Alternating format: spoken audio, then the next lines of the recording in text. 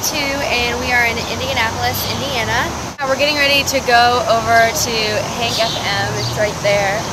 And we're going to sing in a conference room full of people. I'm a little nervous because I don't know what to expect. I hope everyone's nice, and I'm sure they will be. If not, I'm going to have Thomas and Adam beat them up. No.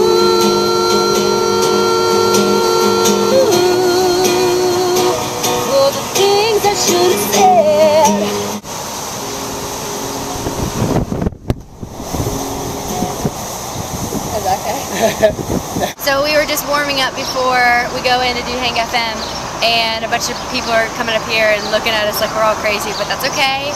We do it for the music. And I have a new single coming out to radio called uh, Things I Should Have Said.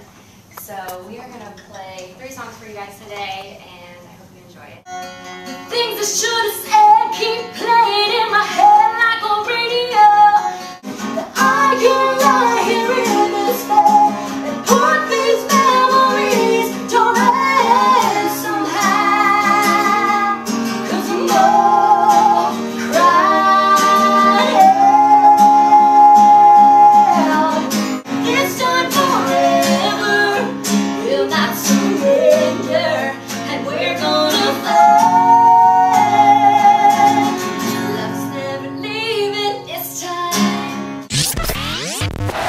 just finished with Hank FM. It was awesome.